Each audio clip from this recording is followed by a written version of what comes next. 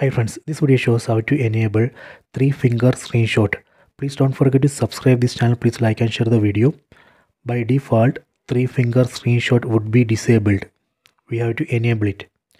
First go to settings. Tap on the settings up icon. Go down. Go to system. Tap here. Tap on gestures. Then tap on screenshot gesture. See here you can see three finger swipe. We have to enable it. Tap here. Done.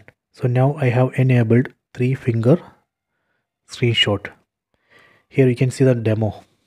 Using three fingers we can just swipe down to take full screenshot.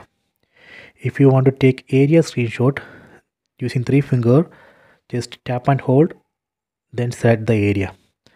So i will show first I am going to take full screenshot using three fingers. Just swipe down. Done. Next I am going to take area screenshot using three fingers. Just tap and hold. Then select the area. Done. Then you can save this. Done. So this way we can take three finger screenshot I hope you have enjoyed this video. Please subscribe this channel. Please like and share the video.